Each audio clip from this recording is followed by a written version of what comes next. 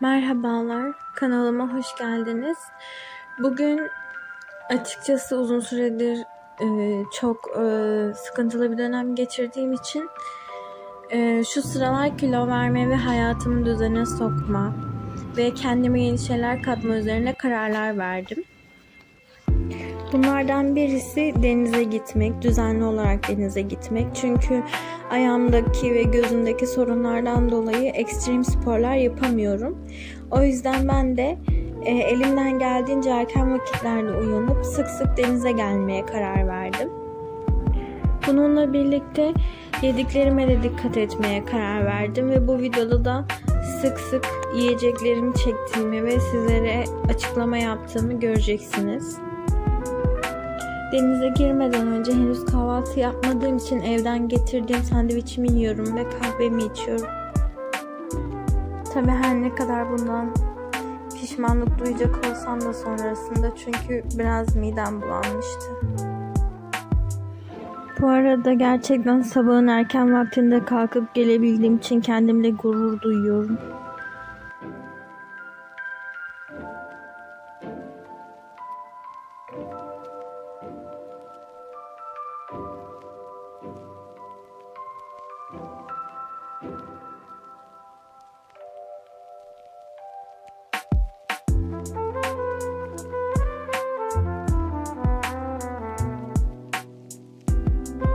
Sandviçim bittikten sonra yaklaşık bir saat kadar yüzdüm.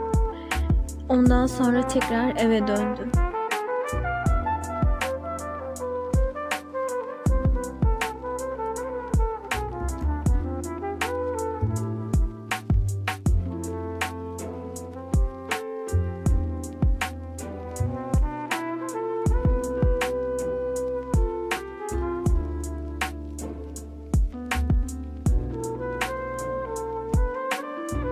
O gün çok fazla böyle minik misafirlerimiz vardı. Ve artık eve dönüyorum.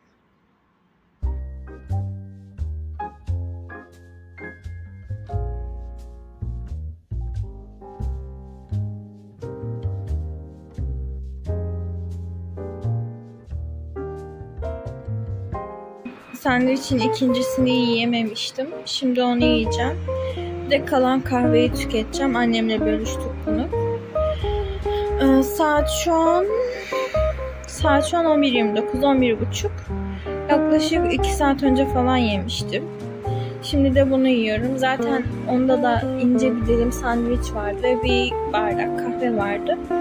Şimdi birazcık daha sandviç ve kahve tüketiyorum yine. Çünkü kahvaltı benim bu şekildeydi. Yarısını 2 saat önce yarısını da şimdi yiyorum.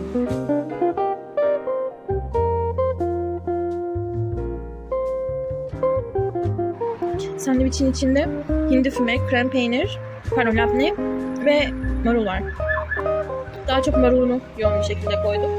İki dilim hindi füme ve birazcık da labne sürdüm ekmeği. İki dilim tam buğday ekmeği bu şekilde.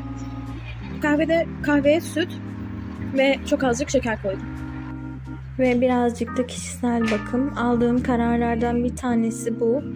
Ürünlerin farkındayım, cildimin de farkındayım. Ama düzenli kullanım maalesef olmuyor.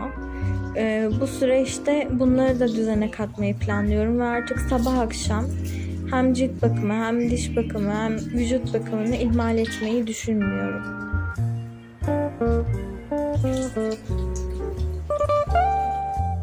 Birazcık yanmış olsa da akşam yemeğim kabak mücver, birazcık yoğurt ve domates.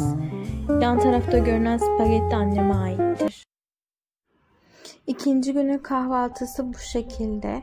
Dediğim gibi sağlıklı ve dengeli beslenmeye çalışıyorum.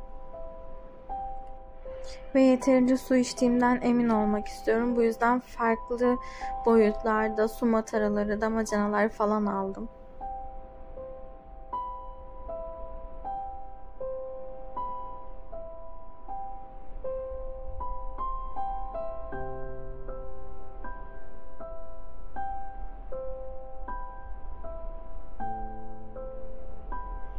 Normalde yeşillik çok yemem ama kahvaltıda böyle fesleğen, marul ya da roka tarzı şeyleri yiyebiliyorum. Bu yüzden Kahvaltında genelde yeşillik olur. Onun dışında çok olmaz yani. Ama tabii bu değişecek. Daha önce de fark ettiğim üzere video çekerken yani bir şeyler yaparken video çekmeye karar verdiğim zaman o konuda daha istikrarlı oluyorum ve video çekmeyi, buraya video yüklemeyi bu konuda kullanmaya karar verdim. Şimdi yine cilt bakımı yapıyorum. Bu sefer aldığım ve haftada sadece birkaç kere kullandığım hyaluronik asiti sürmeye çalışıyorum. Kapağını kapatamadım.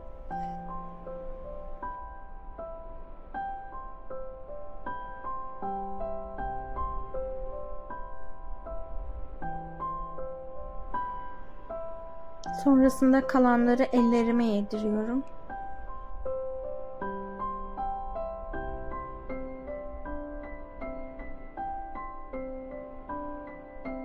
Onun üzerine de uzun süredir kullandığım C vitamini nemlendiricimi sürüyorum.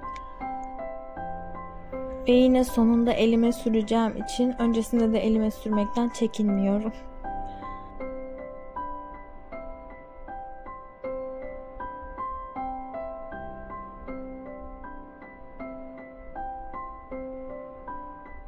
Birazdan annemle kampa gideceğiz yine denize. Bu sefer çadırımızı da götüreceğiz. O yüzden orada yiyeceklerimizi hazırlıyorum.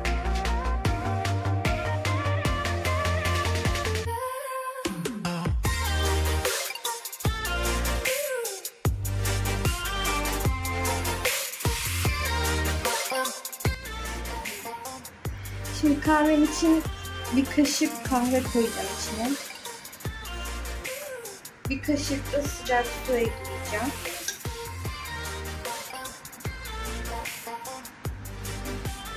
Sonra aslında normalde şeker eklemem gerekiyor ama ben diyet versiyonu yaptığım için sadece keçi boynuzu özü ekleyeceğim bir, bar, bir kaşık.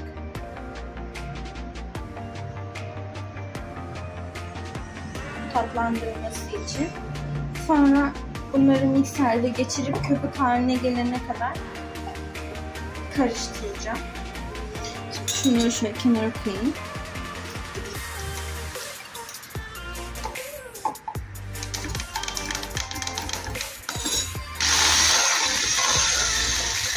Bu şekilde köpük haline geldikten sonra termosuma sütümü koyacağım.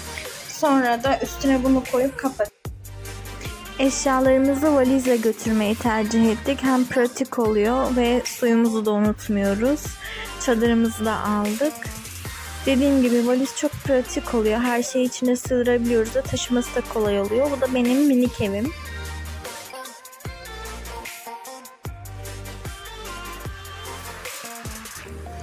Burada çadırımızı kurmaya başladık artık.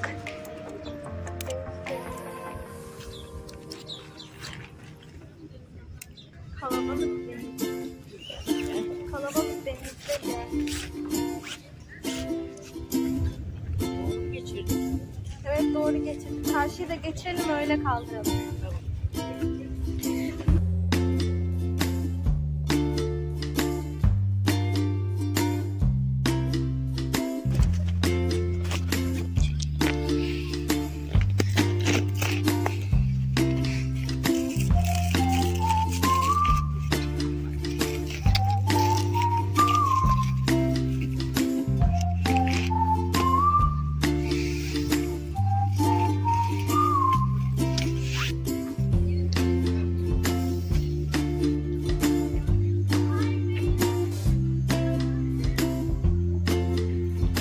Nasıl olmuş?